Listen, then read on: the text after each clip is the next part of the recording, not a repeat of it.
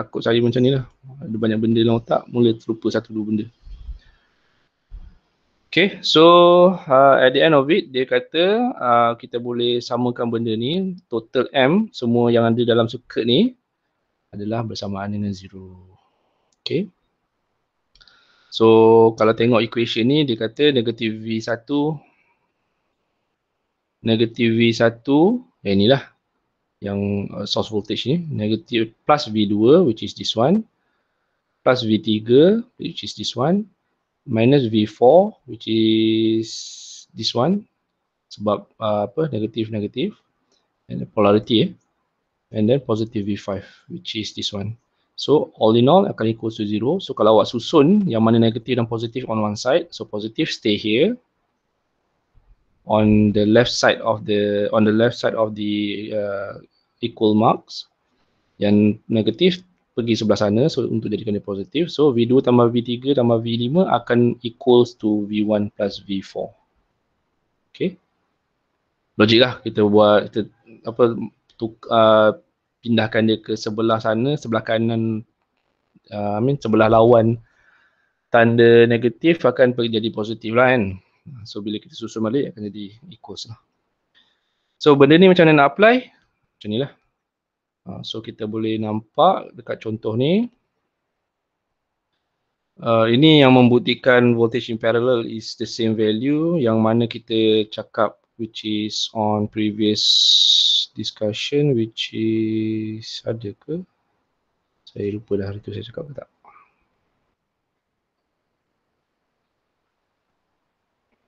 Tak ada saya tak cakap eh. Okay tak apalah. Uh, saya dah ter- ke depan Anyway, uh, ini membuktikan yang parallel punya voltage akan always be equal. Ha, ini satu lagi text yang awak boleh ambil daripada equation KVL ni. Mula-mula dia kata uh, semua total semua total voltage yang spend dalam closed circuit akan equal to zero. Positif ke negatif ke polarity dia. And then another take is that voltage in parallel akan menjadi equals. So in this case kita tengok eh. Tadi dia kata uh, in a closed circuit akan menjadi zero. So that means kalau buat macam ni, kata macam tadi dia kata convention kalau negatif positif macam ni, yang ni akan jadi negatif kan. And then bila dia jumpa positif, jumpa positif kat depan, dia akan jadi uh, yang sebelah sini jadi positif. Okay, kita ikut cara yang sama. So negatif V1 and then ni positif, dia jumpa positif V2. So V2 ni akan jadi positif lah. So V2 akan sama dengan kosong. Sebab apa? Ini satu circuit. Okay. So bila kita susun balik, V2 sama dengan V1. Ini pindah sana. Okay. Then kita tengok V3 pula. Sama the, the same thing. Sorry. So negatif positif kita assume V2 ni negatif, uh, negatif start dulu. And then dia jumpa V3 positif dengan positif. So kalau sini negatif, sini akan jadi positif lah sama melawan kan. So positif V2, uh, V3 sama dengan kosong. So susun balik V3 sama dengan V2 at the end of it. So uh, betul lah equation ni. V2 sama dengan V3. So apa yang saya duk, duk membebel ni pasal uh, KVL, KC, apa, KVL ni is that ada dua yang awak boleh take. First, lagi saya, ini saya ulang balik ya. First, circuit yang lengkap, closed circuit, tak kisah berapa banyak negatif positif yang ada dalam circuit tu, total yang dilalu voltage-voltage ni akan menjadi zero. Okay, itu satu. Second, any any uh, circuit closed loop yang parallel, maksud macam ni, dengan yang ini, ni parallel eh, maksud dia, dua ni, dengan sekali lah V3 ni, satu, dua, tiga ni parallel, semua ni akan have the same voltage. So kalau sini 5 uh, volt, sini pun 5 volt lah. Sini pun 5 volt. Ha, tapi ha, ni awak pegang dulu sebab nanti kan awak akan jumpa benda pelik-pelik. Tapi as long as awak nampak note dia ni, ha, ni key yang saya nak highlight kat awak. Kira kalau bahasa orang kasar orang kata pro tips lah. Tengok note dia ni. Macam mana nak tahu mana satu parallel dengan mana. Tengok note dia ni, tengok note dia ni. Tengok note dia ni, tengok note dia ni. Kalau parallel maksudnya dia hanya jumpa satu, macam yang kita belajar apa ni lah. Apa mana yang note note uh, parallel series, parallel resistors. Two or more element are in parallel if connected to the same two nodes. Kalau series, uh, two or more in series, uh, cascade, uh, uh, basically ayat dia satu node. Satu kaki jumpa orang lain, satu kaki jumpa dia ni. Whereby, and then yang kaki yang yang kedua ni tak jumpa balik yang ni. Kalau dia jumpa balik yang ni, uh, then parallel lah. Tapi dia jumpa yang lain. Uh, so itu series. Kalau parallel, elemen yang sama, ele, ele, dua elemen dia jumpa dengan node yang sama. Kaki atas, kaki bawah. Sama lah macam ni. Boleh ya kalau saya laju. Uh, ni kaki atas jumpa uh, node atas ni, kira awak boleh sebenarnya sambung macam ni je lah. Dan kaki bawah jumpa elemen yang sama. So, parallel. So, bila parallel, voltage dia sama. Ikut Kirchhoff law kata, uh, yang kata. So, dua eh. Satu, total ni sama eh, total apa voltage dalam satu closed loop akan menjadi kosong. Satu lagi, voltage yang parallel akan menjadi sama value dia. Okay, pegang dua tu.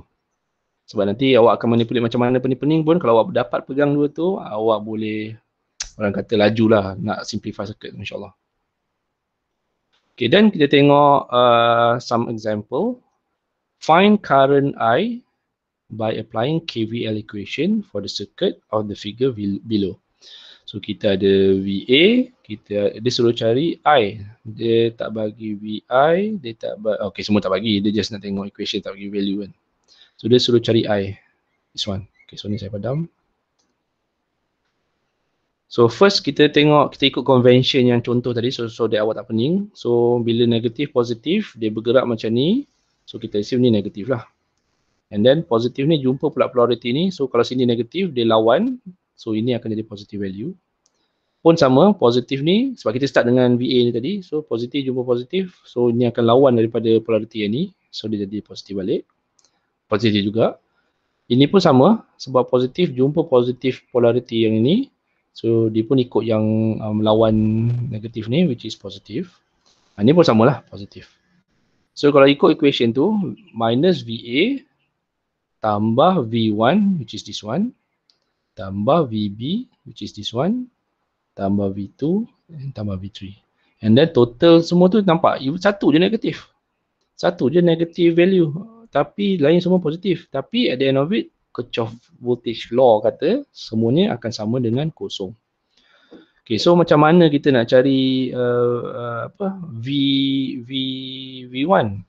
Okay, so kita pakai apa rumus V equals to IR So logik lah kalau nak cari V1 current I sebab ni current I current ni sebab ni adalah satu circuit saja tak ada tak tambah sini lagi. So dia hanya satu circuit sahaja. So I yang lalu dekat dalam circuit ni the whole circuit ni adalah I yang sama. Yang membezakan between setiap voltage ni adalah disebabkan R ni saja. Value R ni ataupun value voltage ni lah itself. Value R ni yang menyebabkan dia punya voltage drop tu berlaku. Okay? Tapi rumus kita boleh cari V V1 ni menggunakan IR sebab I semua orang share so kita boleh je terus taruh. I sama dengan V over R kalau kita susun each component ni.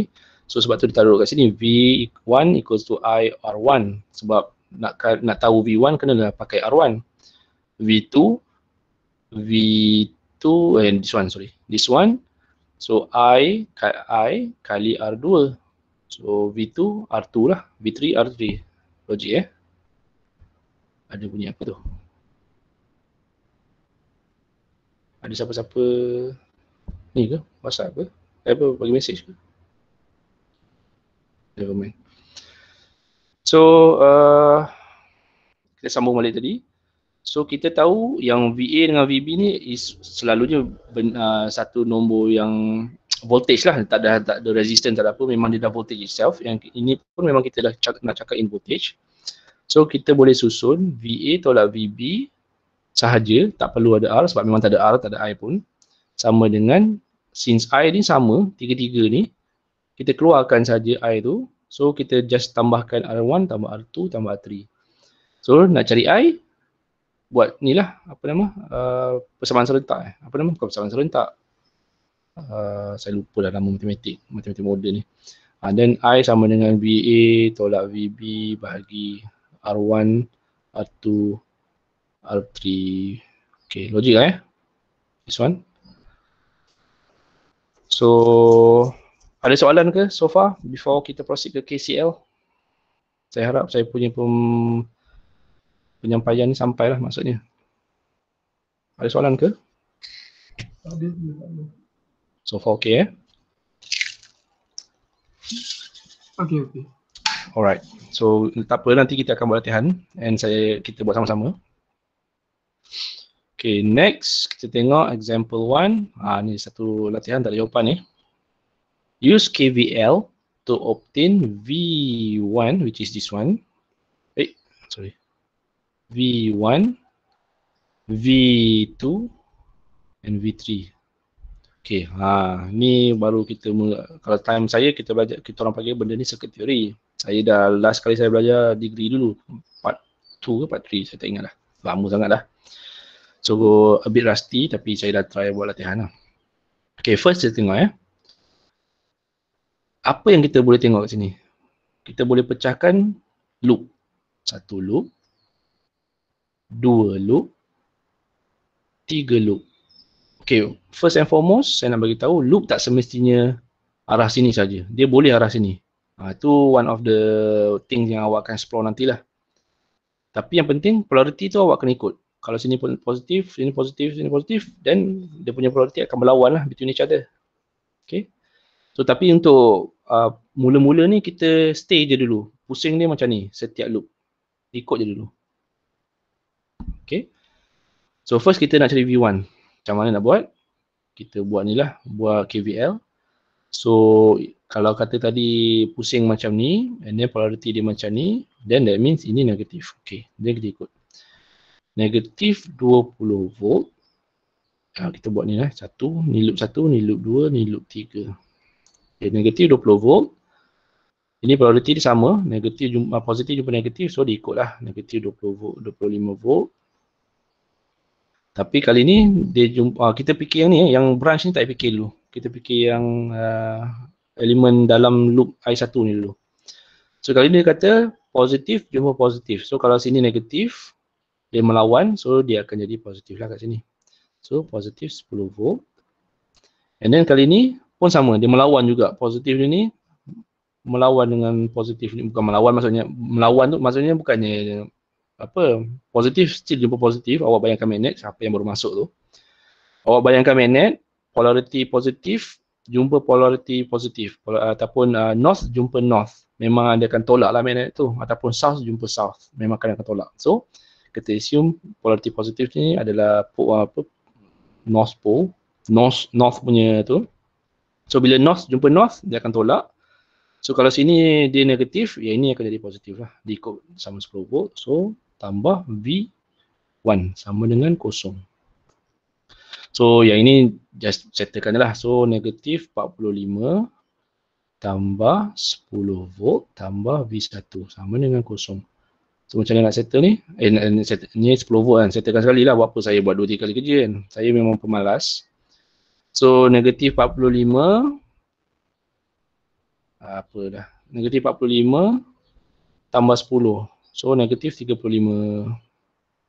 negatif 35 volt tambah V1 sama dengan kosong. So kalau kita alihkan dia ke sini V1 sama dengan 35 volt. Ah tu jawapan dia. Okey, tu baru settle satu.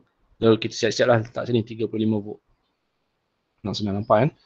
Okey, dan kita buat V2 pula. Sorry. Okey. Benda yang sama, pusing arah sini. And then tadi convention kita kata negatif positif dia bergerak macam ni so that means dia ini akan jadi negative value. So negatif uh, ni i2 eh saya buat ni i1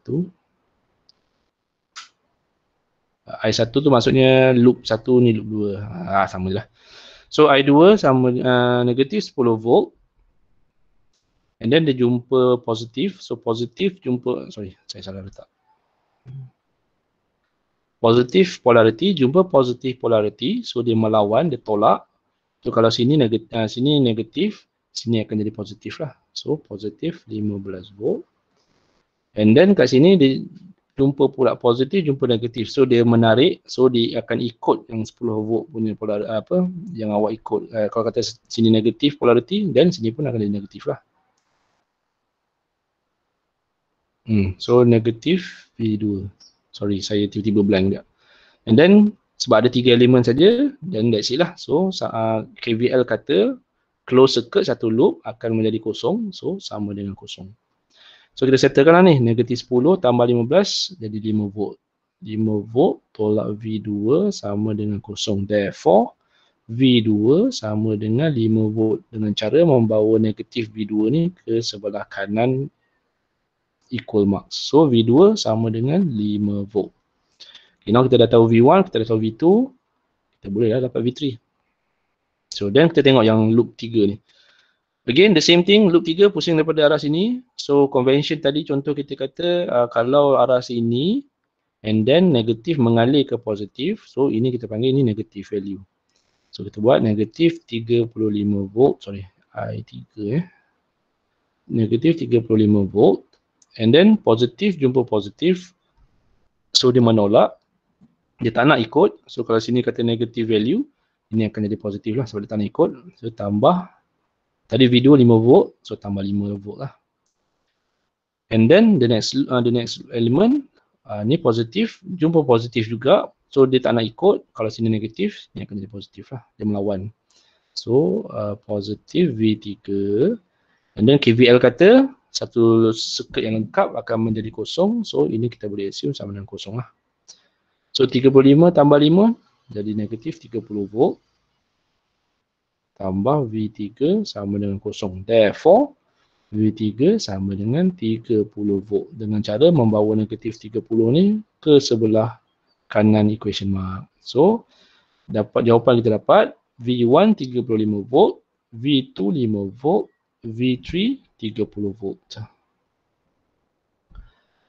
Okay, ada soalan? Ini yang senang lah ni. Nanti saat kita jumpa yang susah sikit, saya guide satu dua. Dan awak, saya minta awak buat sendiri. Okay, so far? Boleh ikut? So far, so good. Ha, kalau ada yang nak tanya ke, saya bagi dalam uh, seminit ke apa ke, kalau awak nak susun awak punya pertanyaan tu dulu.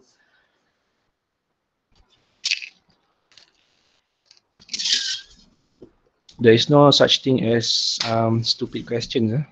Yang ada, uh, orang yang mengajar tu yang salah.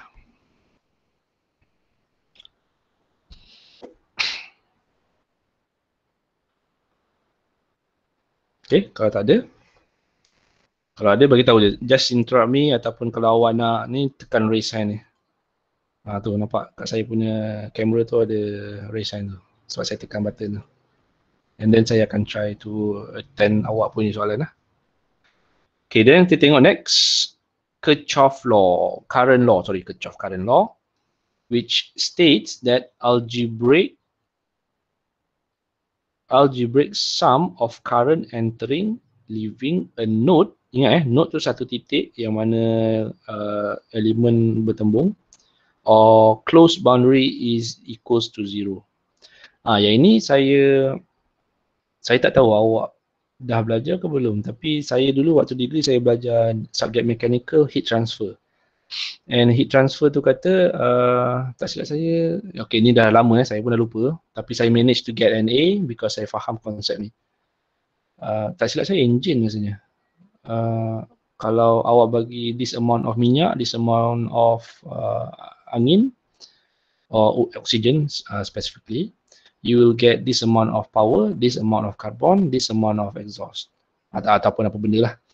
So, apa yang saya rumuskan kat situ is that apa-apa yang masuk itu jugalah yang akan keluar.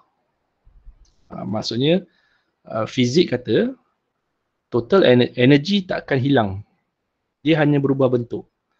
So uh, kalau awak masukkan energy tu dua, dia maybe jadi tiga.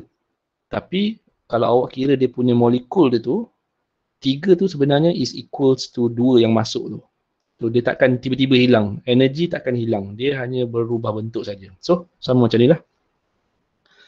Memang nampak, okay ini dia kata yang uh, masuk, uh, sorry, entering and leaving will be equals to zero. So kalau tengok sini air satu masuk, air dua keluar, air tiga masuk, air empat masuk, air lima keluar. Okay, memang nampak tiga masuk and dua keluar. Tapi ultimately dekat node tengah-tengah ni semuanya akan menjadi kosong. Ha, ni sama lah macam heat transfer time saya, uh, time belajar, kalau betul lah nama subjek tu heat transfer. Tapi this is not uh, orang kata mechanical ke electrical tak. Ini physics. Kita sebagai engineering memang pegang physics. Kita tak ada percaya sepatutnya lah. Tak boleh lah kita percaya dunia tu flat ke tu apa ni conspiracy theories ke apa ke. Sebab kita pegang kepada physics. Bukannya some random dudes dekat internet type ikut suka dia tengah berlipat-lipat kaki seronok menulis. Lepas kita pun percaya cakap dia. Tak eh? Kita pegang pada physics. So physics kata energy tak akan hilang. Dia berubah. Berubah rupa so samalah even though yang masuk ni tiga yang keluar dua tapi kalau awak tengok exactly the amount of current total current masuk dan total current keluar, it will become zero. Ha, so itu yang KCL cakap. So kat sini dia kata current enter sama dengan positif, current leave sama dengan negatif. So kalau kita susun-susun uh, positif dengan apa uh, apa equal marks ni, awak akan dapat yang masuk sama dengan yang keluar. Sebab apa? Semuanya sama dengan kosong. Okay, so kita tengok yang contoh figure 1 ni, dia kata I1 masuk, positif, air 3 masuk positif, air 4 masuk positif. So sebab tuan nampak ya, ni positif, positif dan air 1 mana air 1? Wah ni ha, positif. Sorry, tak nampak depan ni saya dah jadi pening pula. Uh, suspend pula. Tapi positif lah kan. Okay, dan keluar air 2 dengan air 5. So air 2 negatif, air 5 negatif. So kalau kita susun positif dan negatif tu, letak sebelah-sebelah, uh, cross cross the apa equal marks ni. So awak akan nampak I2 tambah I3 tambah I4 sama dengan I2 tambah sama dengan eh tambah sama I5. So uh, at the end of it kalau kata awak bagi value dekat I1, I3 dan I4 ni awak akan nampak equation true lah. But for now tak apa, terima dulu. Anggap je I1, I2, eh, I1, I3, I4 yang positif ni akan bersamaan dengan kosong. So kalau awak susun dia punya Uh, apa uh, equation awak akan nampak yang keluar yang masuk sama dengan yang keluar. Ha. Okay, yang KVL awak pegang dua. Yang KCL pun sepatutnya pegang dua tapi dia tak ada mention kat sini. Hmm. Hmm dia tak ada mention kat sini. Tapi tak apa, kita akan nampak uh, sekejap lagi lah. Okay, yang untuk teori ni ada nak tanya ke? Saya tahu maybe pening sikit sebab tak nampak application ni lagi. Tapi just in case ada yang nak tanya, just beritahu ya. Okay, kita tengok next.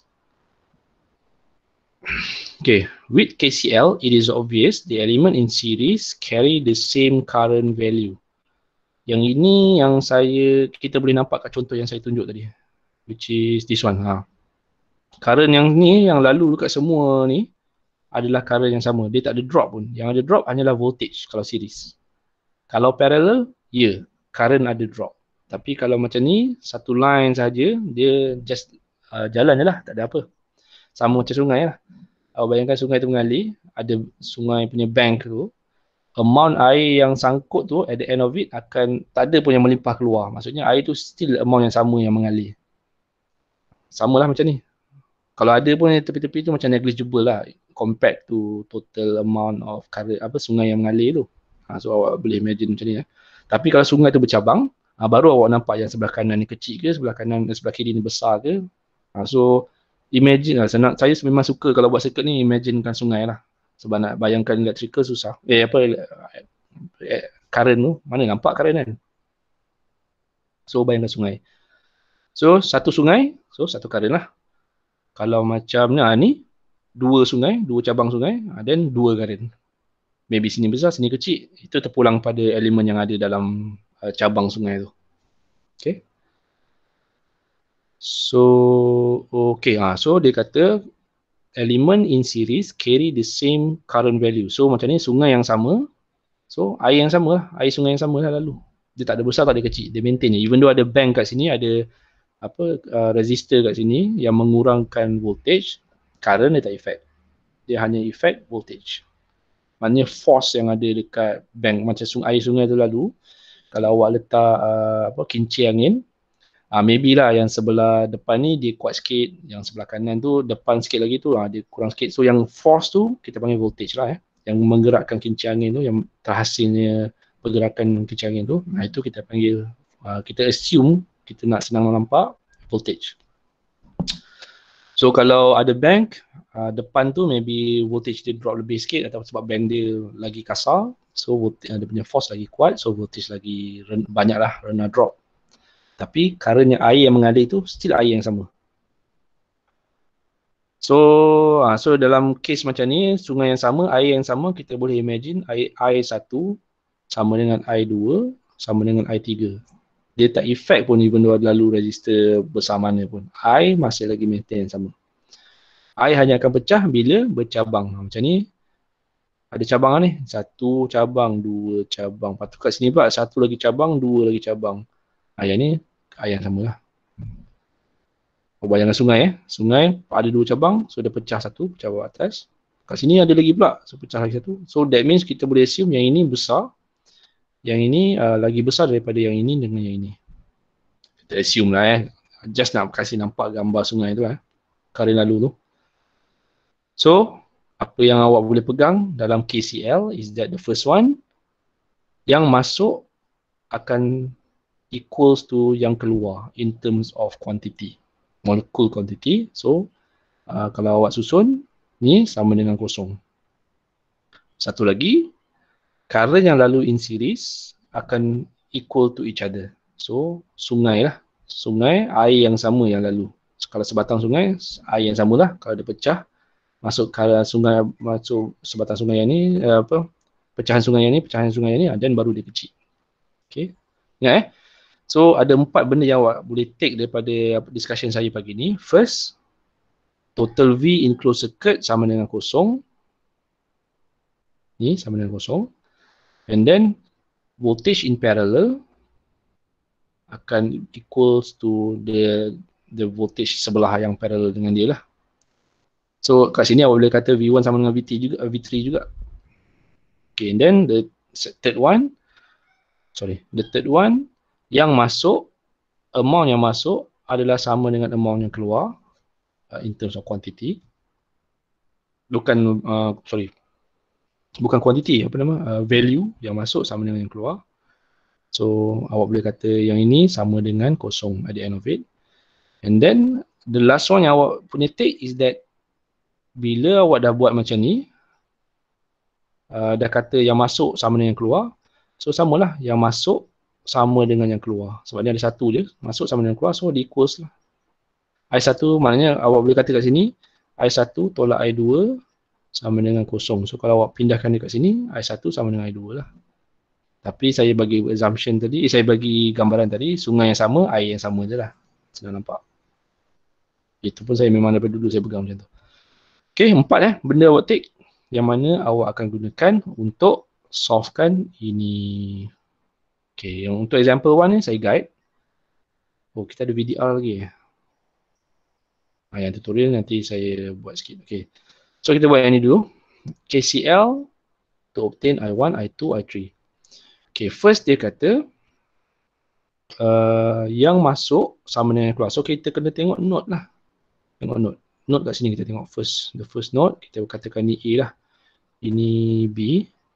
And then yang bawah ni C. Awak boleh ambil yang ni, awak boleh ambil yang ni. Terpulang. Tapi saya suka ambil yang ni lah. The same thing. Sebab nanti kalau awak buat pun nanti awak akan nampak kenapa sama je yang bawah ni. Okay. So, ah yang ni pun polariti uh, arah tu pun awak kena ikut eh. So, kalau ini I1 ni awak kata positif. So, awak kena ikutlah I1. Masuk positif. Apa lagi masuk? Ah 1M ni pun masuk ke dalam point A ni. So, tambah 1. And then ada masuk lagi tak? Okay, tak ada masuk. Yang keluar, ni 10M dia keluar. So, tolak 10. Yang ni pun keluar 2M ni. So, tolak 2.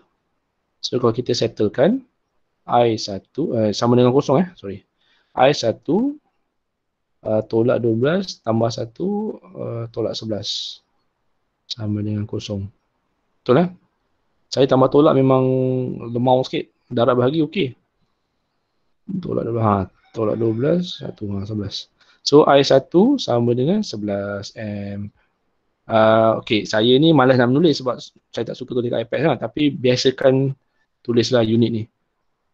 Sebab apa? Nanti kan kita buat uh, tutorial awak akan nampak ada kilo ohm, ada ada tiba-tiba milliamp. Ha, so nanti kalau awak buang unit tu kat belakang, what's going to happen akan jadi celaru lah nanti. Especially buat circuit tu. Confirm akan celaru. Okay, so kita dah jumpa dah 11M untuk I1. Okay, saya padan contoh ni, so kita nampak. Okay, ni tadi A. Not A. Dan kita tengok not B. Not B dia kata yang masuk positif, yang keluar negatif. So yang masuk ke dalam B adalah 2M dan 3M. So apa dia masuk?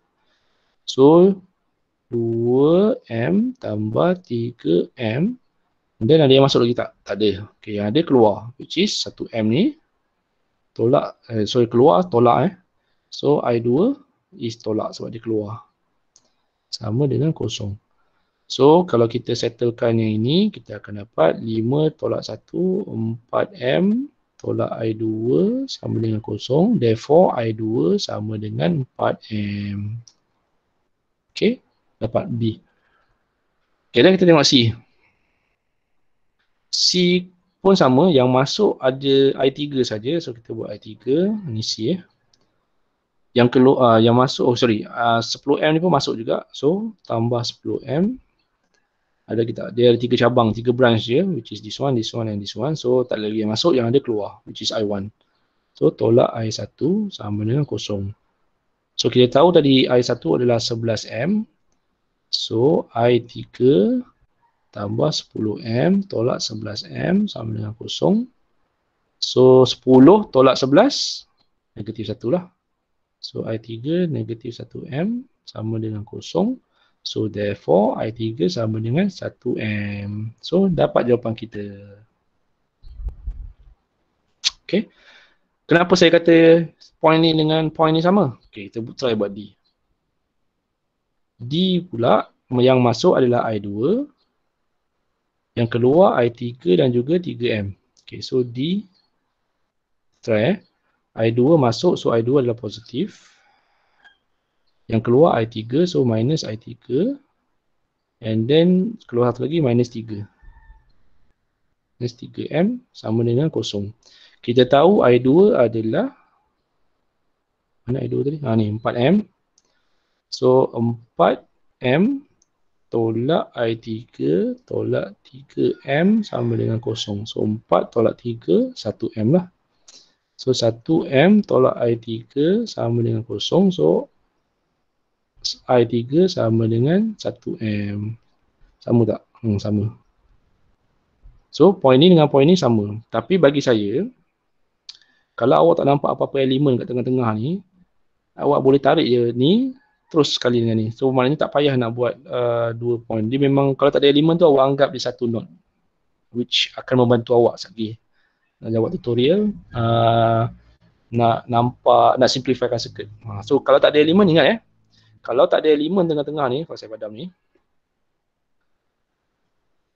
Katakan ni C, balik ni D. So kalau tak ada elemen tengah-tengah ni, awak janganlah cakap ini node yang sama. Awak sekalikan je.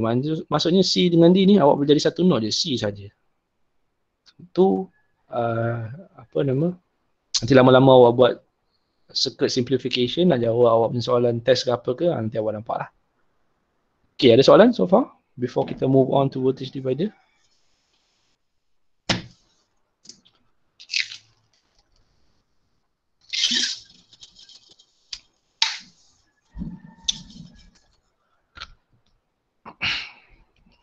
Tak ada? Tak ada, tak ada. Alright. Saya harap semua okey eh. Kalau tak okey bagi tahu, jangan risau, jangan malu. Okay, next kita tengok voltage divider rule. Okay, voltage divider kata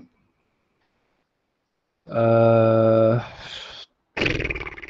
voltage to be divided among various Okay, uh, dia tak ada kata apa. Dia cuma cakap kalau resistor is, is in series, awak boleh cari voltage sebelah dia tu dengan menggunakan voltage divider rule. So, awak ada R1 dengan R2 in series, awak ada value V source, awak nak cari uh, V2 for example. Then awak boleh guna value resistance ni tambahkan eh, sorry over value resistance ni campur R1 bahagikan dengan eh sorry. Apa saya melipit ni R2 over R1 tambah R2 kalikan dengan voltage source. Okay. kalau awak nak cari V tadi saya kata V2 so V2 awak ambil lah R2 kat atas. Yang bawah ni awak pakai je R1 tambah R2 the sum of uh, resistance the total of resistance in series yang ada dalam series lah. Circuit tu So kalau awak cari V2 pakai R2, kalau nak cari V1 pakai R1. Maksudnya V1 R1 letak atas, V2 R2 letak atas kalikan dengan voltage source. Ah tu je rumus dia. So bagi saya saya hafal value voltage mana yang saya nak cari. Sorry ya.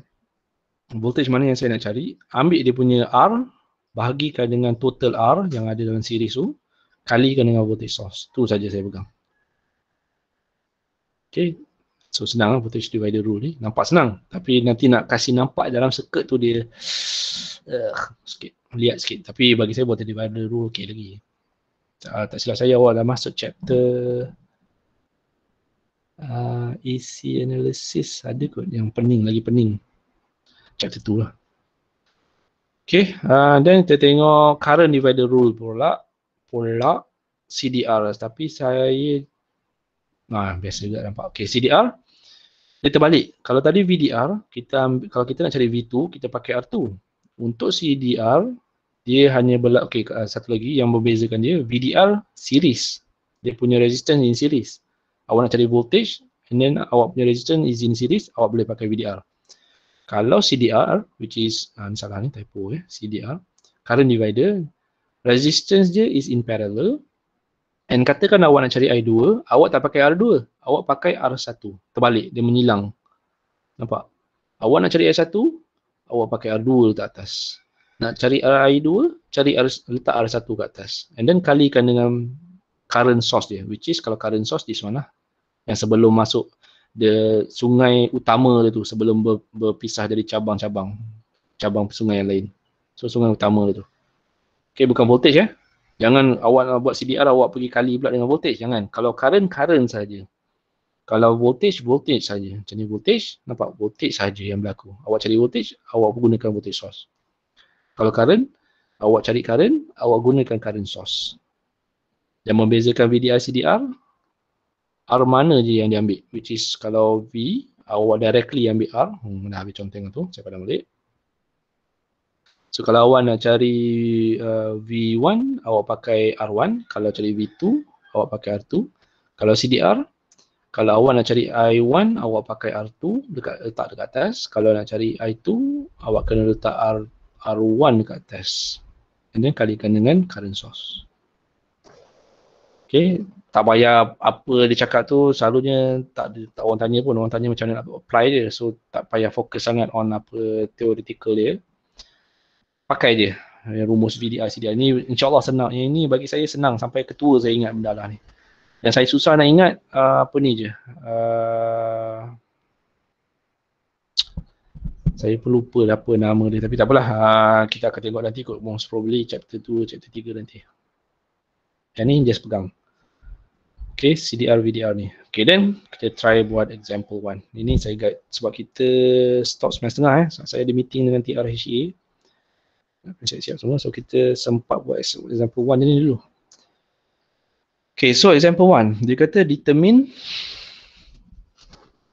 I1 through I4. Dia suruh cari I1, I2, I3 dan I4. Okay, so kita buat I1 dulu. Okay, macam mana nak buat I1? Kita kena cari IT. IT. So IT pecah dua tu macam mana cari? Uh, maknanya kita kena solvekan yang ni dulu. parallelkan dia, cari RT total, baru awak boleh uh, dapatkan, ingat eh, ini IT, I total ni, tapi ni sungai yang utama, dia pecah tau. So awak tak boleh guna 20M ni. Awak kena pecahkan dulu, cari I yang kat sini, IT kecil. IT kecil macam ni, kecil, ha, macam ni. Yang ni IT besar. IT kecil satu, ni IT kecil dua. Ha, ni trick question eh. Kalau mula-mula orang buat mesti dia confused. I 20M ni awak kena nak dapatkan, eh, sorry, nak dapat IT kecil ni awak kena settlekan ni dulu. Okay, so nak settlekan tu, kita buat parallel resistors which is kita belajar last class is ah, this one, nampak? Nak cari R equivalent 1 over R tambah 1 over R. So, kita ada dua, dua kali je lah. Sekejap je, mana tadi? Ah, this one. So IT nak dapatkan tu kita kena buat yang I2 uh, I2 I1 parallel I2 dulu lah solvekan dulu. So 1 over 30 ohm tambah 1 over 20 ohm. Okay kat sini saya nak tunjuk macam uh, awak boleh pakai calculator. Uh, dalam subjek ni memang awak kena pakai calculator pun nanti. Especially sebab nak kira phase diagram semua. Cumanya saya boleh share satu screen je so saya tak tahu nak share ah saya boleh pakai kamera saya sorry. Okey kalau awak ada uh, calculator ni nampak tak? Aktifkan calculator tu. Kenapa lah background saya ni? Tak detect saya on kan dulu. Okey awak buat uh, one awak awak biasa ke buat pecahan pakai calculator ni?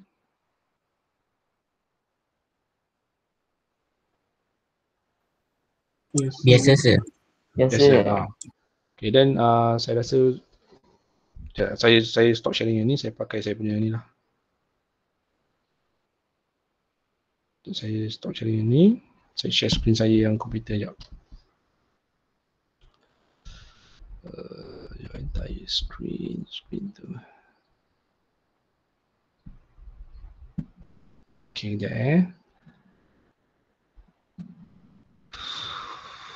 sebab saya dah lama tak pakai calculator ni so saya prefer nak buat nak buat lah ni semangat sikit nak buat yeah, chapter 1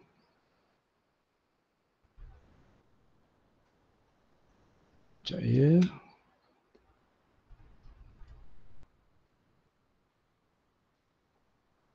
ok ni eh then saya kena cari uh, desktop which is this one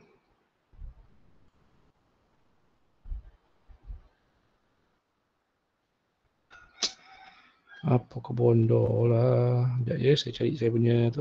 Calculator.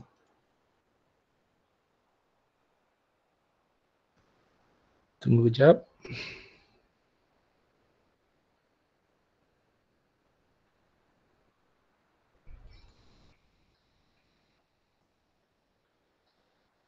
Okay, ini calculator saya.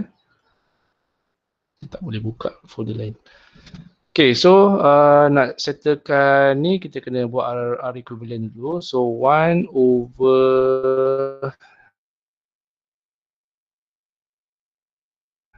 30 1 over 20 then 1 over answer so dapat 12 lah. So 12 ohm sebelah sini. So saya nak conteng ni macam mana ni? data kami boleh buat. Jaya.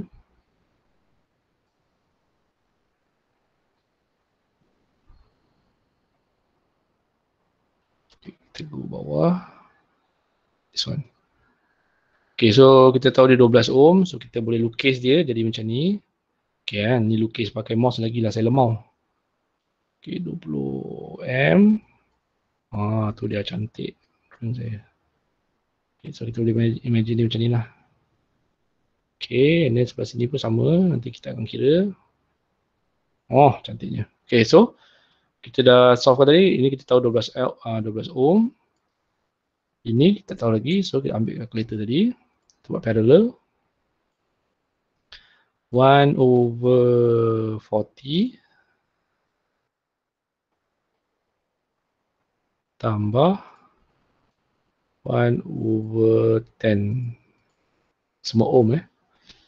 Okay so kita equalskan and then 1 over kan sebab nak dapatkan value dia. Answer. So kita dapat 8 so kita boleh dapat sini 8 oh cantiknya. Okay then uh, ingat tadi dia kata uh, note yang sama kalau kita nak cari yang ini kita kalikan dengan source, source adalah 20 kita guna yang resistor yang berlawanan. So kalau nak cari I yang sebelah sini kita assume ini adalah I kiri I, I kanan. I K I I R lah right? I left. So I R nak cari I R kena guna 8 bahagikan dengan 8 tambah 12 kalikan dengan uh, A source which is 20M oh cantiknya. Dan guna macam ni 8 bahagi 8 tambah 12 A 20 kali 20 so 8 jawapan dia. Current sebelah sini adalah 8M ni eh 8M Cantiknya. Okay, and then dia kata tadi, uh, yang kalau nak cari sebelah sini, gunakan yang melawan dengan dia, which is 12M. So, 12M lah, 12 ohm. 12 bahagi 8 tambah 12. Kalikan dengan current source, which is 20. So, 12 bahagi 20. 12 bahagi 20. Kalikan dengan 20. So, dapat 12. So, kita tahu kat sebelah sini 12M. Okay, so dah tahu tu apa, macam mana pula nak buat? Uh, ulanglah balik benda yang sama. Tapi kali ini, yang ini adalah 8M, dia punya current source, jadi 20. Ini 8. Sebelah sini, dia punya current source, 12. So, guna taktik yang sama, nak cari I1, pakailah 20, bahagi 20 tambah 30, kali dengan 8, nak cari I3, 40, eh sorry, 10, bahagi 40 campur 10, yang berlawanan eh, kalau cari I3, cari yang lawan dia, which is 10M, 10 ohm. 10 bagi 40 campur 10. So 10 bagi 50 kalikan dengan 12 M. Okay, saya tak nak solve kan. Saya nak awak bagi jawapan kat saya. Berapa value uh, I1, I2, I3 dan I4 menggunakan yang apa saya cakap tadi tu. Okay, uh, minta tolong kirakan and then kawan-kawan tolong confirmkan dengan saya betul ke tak apa dia cakap tu.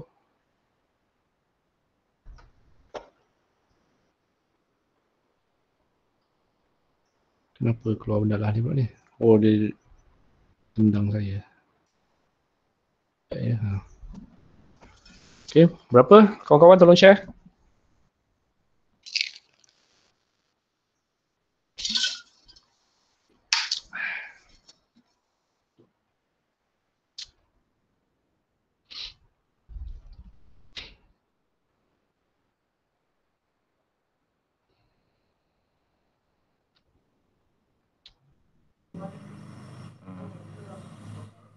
iPad 9.9 sir.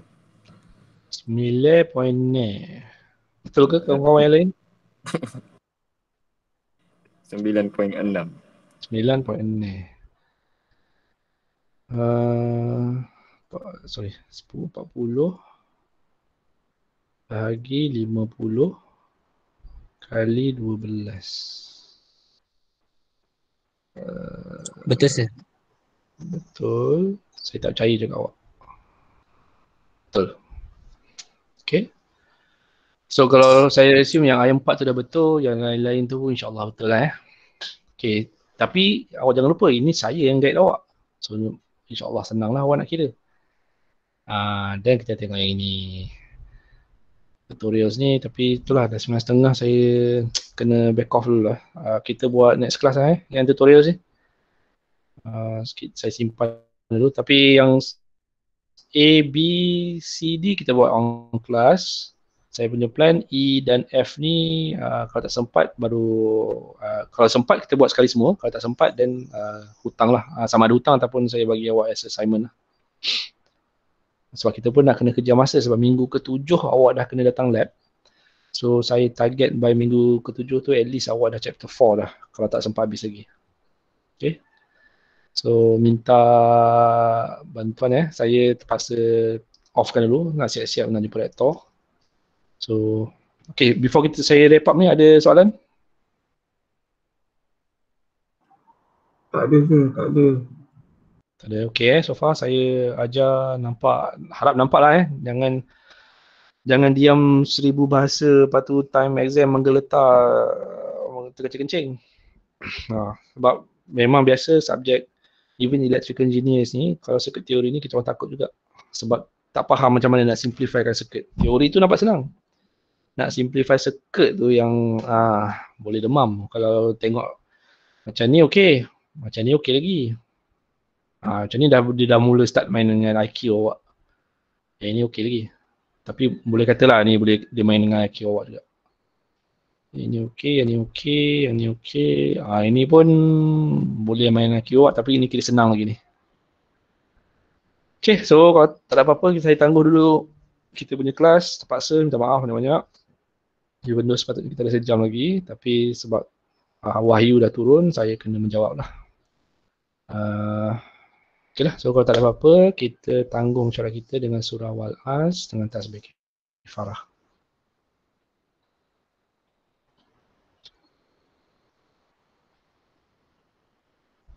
Okay, terima kasih semua. Make sure tanda attendance, tick attendance eh.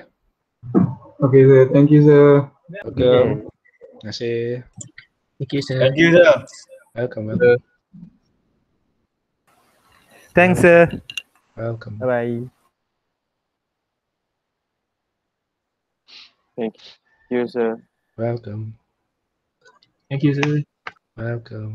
Baru nampak perempuan. Nur Alia Syahid. Thank you, sir. Ah, baru dengar suara perempuan. Welcome.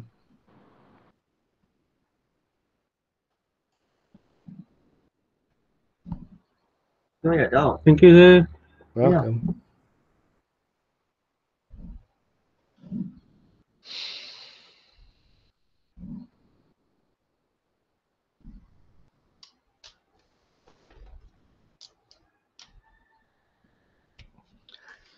Okay, kalau tak ada apa-apa, saya undur diri dulu. Assalamualaikum. Have a great day. Bye. Have a great weekend. You sir.